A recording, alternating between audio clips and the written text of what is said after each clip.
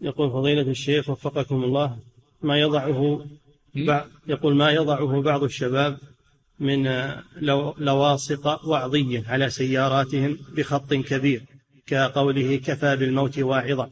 هل لهذا أصل؟